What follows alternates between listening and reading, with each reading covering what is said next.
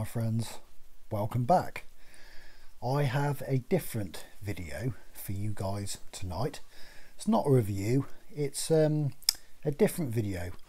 While we're under lockdown, there's a lot there's probably a lot of new beardsmen deciding to grow the beard for the first time and obviously they're still speaking to family on FaceTime and stuff like that. And basically, this video is all to do with growing a beard, but how to deal with negative comments. I've actually had a few people reach out to me and actually ask me when I first started growing a beard, how did I tackle negative comments about my appearance? So let's start from the beginning. You've decided to grow a beard, say for your first time. Your two best friends are going to be patience and time. That's what you need patience and time. You are not going to grow a beard overnight, it takes time, patience, and dedication. But let's start from the beginning. When I first started growing my beard, long, long time ago, I was clean shaven, decided to grow a beard. Only a couple of my friends knew, family didn't really know. Um, told my partner, um, fancied growing a beard. So, of course, all of a sudden, you're going from shaven, you're going from clean shaven, and your face is beginning to change.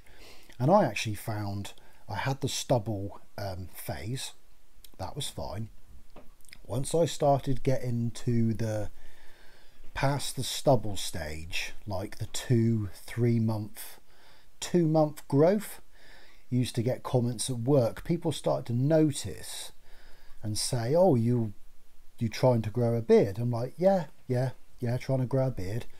And the best ones was, um, I think, some of the best comments I had on a daily basis was like, "Oh, you've still got that beard." and I used to touch my face and go, oh my God, I shaved this morning. Other comments, another personal favourite of mine, it's hot in the summertime. Someone, a co worker, would say to you, Corey, you must be hot with that beard in this weather. And I used to reply, I'm hot all year round, mate. The time for me, I found where I had uh, the most comments was when my beard was going from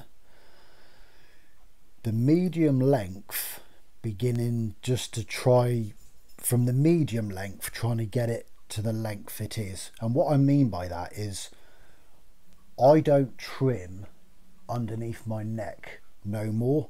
All those hairs are part of my beard and it gives it the beard the thickness the appearance of the thickness and the fullness but of course, when you're growing your beard, that doesn't come straight away.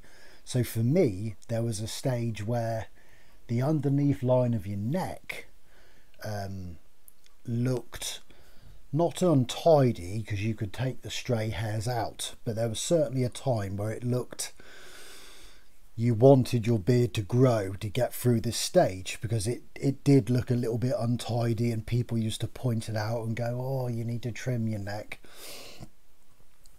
Again, time and patience, and before you know it, your beard grows, and all of a sudden you don't worry about your neckline no more. But basically, the point of this video was to say what how how I coped with negative comments because I'm sure we all had them, especially growing a beard, and not just from co-workers. I had it from family members as well. Um, my family didn't really know I was growing a beard. It's a bit of a shock to the system when they see you and it gets longer and longer. And but my way that I dealt with negative comments and feedback is it actually it drove me it gave me confidence to keep on going because I'd already got the mindset in my head I was growing a beard I was growing it for a year. Nothing was stopping that. So the negative, couple of negative feedback I had gave me that drive to continue even more. I like to fit I like to think of myself as quite a positive person and that's what I did. I turned the negative, made it into a positive, laughed at it, um, and just kept on going. And I'm glad I did. For me, going back all those years ago, deciding to grow my beard for the first time, um, apart from obviously meeting the love of my life and having our son, growing a beard for me has been one of the best things I've done. And when I say that, for me, my beard is not just hair on my face. If you ask all my close friends and my partner, she will say that I love my beard the most. For me, the beard gives me confidence. Um, it makes me feel better. Um, and basically, is part of me. And um, yeah, I just wanted to do a video to say how I coped with negative feedback. I made it a positive. I sure as hell wasn't going to take a razor to my face just because somebody thought they didn't like your beard. One, if they don't like your beard, that's their problem. It sure sure isn't yours.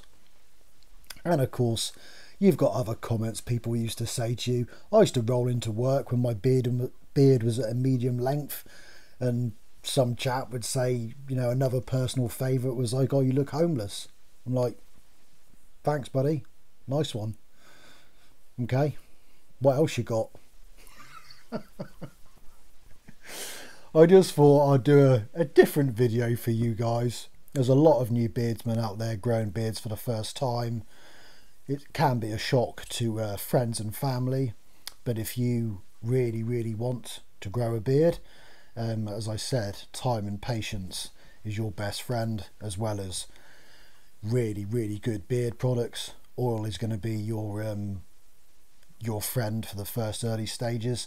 Luckily for me, actually, one of the lucky things, I never had the itchy stage um, too bad. I know I hear a lot of people say the itchy stage is really, really bad and unbearable, and a lot of people shave. For me, I was lucky I didn't have it too bad. Um, and again, through my beard journey, I've achieved, I think I've done two full years. I've had my beard cut right back, really, really short. Because every now and again, when I was playing around with the beard, I like to change my styles. Um, at the minute, I'm really, really happy with my beard length. Um, my last trim of my beard was back last November. Nothing's touched my beard. Once lockdown is done and dusted, I'll be going to see my good friend, my barber. He's going to do my hair, and I'm going to have the flyaways took off. And when I say flyaways, I mean when you comb your beard out or use the heated brush, you've clearly got longer hairs than the rest of the beard. Going to have them took out. I'm keen to see how far my beard can go. That's my little, excuse me, that's my little goal for myself. I'm just loving the beard journey. I love the length I've got my beard too and um, yeah, I'm just looking forward to see how far I can take it. And of course, that's on the flip side as well. All the negative comments I had when my beard was short, um, all of a sudden, people start because basically it's a shock to the system for people to see you with a beard. Once I'd rocked a beard for six to seven months and it was taking shape and it was coming in thick and it was getting longer, the comments disappeared. And in fact, you started having compliments like, "Oh, your beard looks really good. It's really, really thick. It's you know, it's." So it's funny for me. The the negative comments I had was at my early stage of growth, um, going from stubble to actually getting some form of beard there. Um, once it come in a little bit longer, I found that the comments just disappeared. Of course, you're always going to get someone have a comment, but um, yeah. So my advice, anyway, was just the negative feedback I had, I span it on its head and I turned it into a positive, and it gave me the drive to um, continue with what I was doing because just because someone didn't like my beard, there was no way on this planet I was picking a razor and taking it off just because somebody didn't like it. That's their problem, not mine. Um, if this video helps one person, um, I'll be happy. Um, yeah, like I said, I just wanted to do a different, a different video for you guys tonight, today. Just come and chill out with you guys and just speak about the negative comments I had. I turned it into positive once the beard got longer and people got used to you with a beard. Um, and of course, main factor that I was lucky with is I've always had, from day one, I've always had 100% support from my partner, which does go a long way and does really help help you out. She's been supportive from day one. Yes, if you asked her, she'd probably say that she'd like my beard tucked down a little bit. It's not happening. But um, she's been she's been 100% positive from day one. My son has only ever known me with a beard. So, um, yeah, I just wanted to, uh, as I said, to speak about negative comments. Don't let people, don't let people put you down. If you want to grow a beard, grow a beard. Do not let people. Everyone's everyone in this world is allowed an opinion, and people can speak freely. Um, don't take it to heart.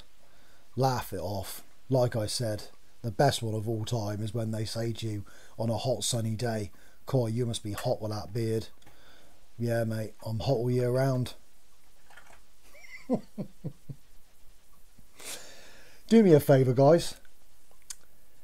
Have you experienced the negative comments when you're growing a beard? Um, did it actually push you to shave your beard off? Or like me did you just kind of laugh it off and just just get on with it? Because um, it would be interesting to hear what you guys how you guys dealt with it. Um, as i said i got a supportive partner which goes a long way. The people at work they only really had something to say while my beard was going through its early stages of growth laughed it off made it into a positive once I started to get some actual length on my beard, the negative comments went away and you were left with positive, um, which is which is fantastic. And now every all of my friends and family just know me with a beard, and um, yeah, that's cool. Anyway, I don't want to go on too long, my friends. But if this helps one person put down the razor, if someone said to them, oh, your beard looks naff, no. Give it time, grow what you got. You're not going to grow a beard overnight.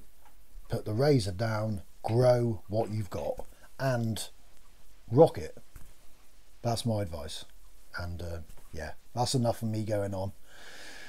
I'll see you all real soon. Until next time, take care, my friends.